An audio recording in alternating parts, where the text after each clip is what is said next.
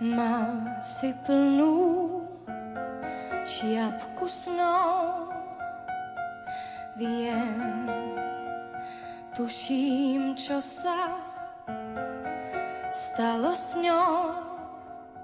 Tak príď v tmavej chodbe stoj a blúď zazvoň. Prídem odomknúť.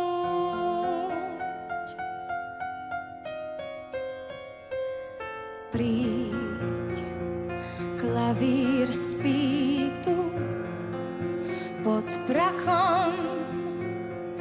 Príď, zahraj mne a oblakom tak príď do tej izby podkrovnej, veď vieš, vyhnali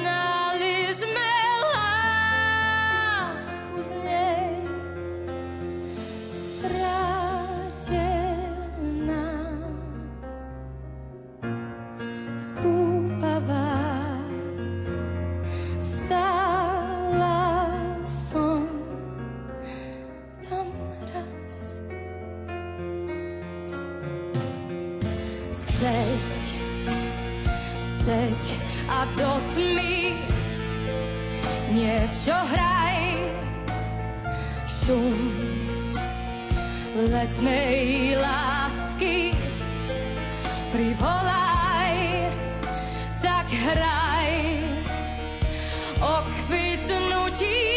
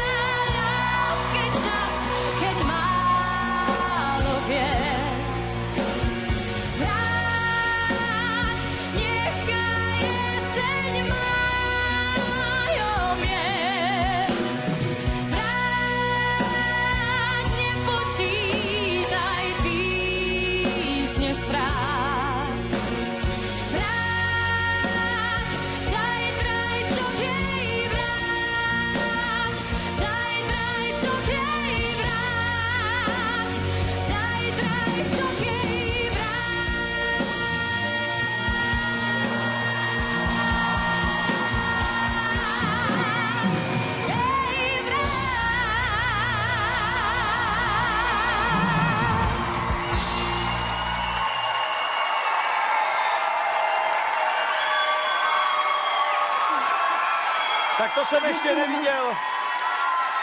Tři soutěžící, teda tři porodci jsem chtěl říct, stáli a Katarína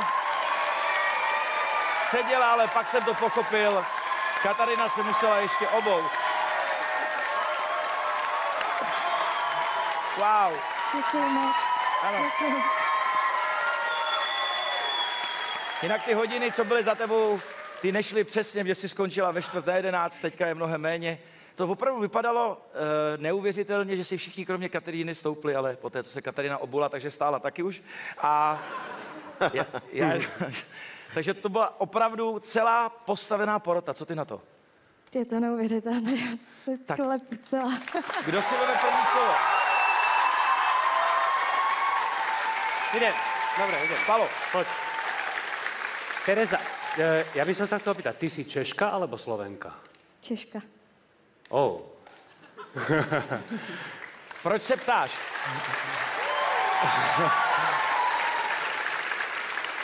Lebo Slovenčina je neskutočná, absolútne žiadny prízvuk, akože ja som z toho úplne hotový a evidentne... to svedčí... Takto. Poprvé, Janko, napísal, Janko Lehocký napísal geniálnu pesničku, odspievala geniálna speváčka a spievať po týchto dvoch a vôbec akože po Marike niečo je samovražda. Ale ja si myslím, že ak toto Marika pozerá v televízii v tejto chvíli, tak ti určite niekde zavolá, zoženie si tvoje číslo. Ona to občas tak urobí, aby si nebola prekvapená a fakt ťa pochváli. A ešte by som chcel... abys taky nebyla ale zklamaná. Když ti nezavolá, tak to neznamená, že to bylo špatný. Jako. A ja som si hovoril, keď si, keď si prišla, keď som ťa videl, ako tam stojíš v tých nádherných šatách, máš nový účes, stále rúžová hlava, Ano, ano, ano. že vlastne ty aj keď si zmeníš účes a dáš si, lebo o tebe zo začiatku budú hovoriť, a to je tá s tou rúžovou hlavou. Ne, ty aj keď budeš mať inú hlavu, teda iné vlasy,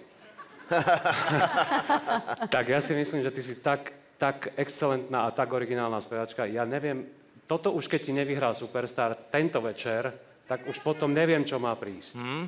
Že Palo oznámil svoji nominaci na favoritku celého ročníku.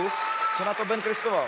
Já jenom doplním, já um, jsem tenhle ten song párkrát slyšel, já jsem si říkal, dokáže tohle to vůbec někdo dát naživo, je to vůbec jako možný, tam je tolik strašně těžkých pasáží, který je tak strašně těžký trefit, tak to vzala úplně všechno a já jsem vysel na každém slovu.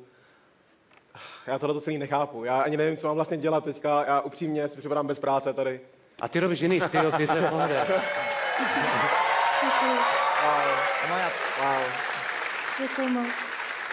Ja keď som, Tereska, okrem toho, že vyzeráš naozaj nádherne a ten účest ti neuveriteľne pristane, tak k tomu spievaniu u mňa, ja mám Mariku Gombitovú na takom piedestáli speváckom a uh, ak, ja, by som, ja som si najprv hovorila, že pre Boha význanie zase, že to by mal byť nejaký medzinárodný zákaz, aby to už prosím nejaká spevačka nikdy v živote nespievala.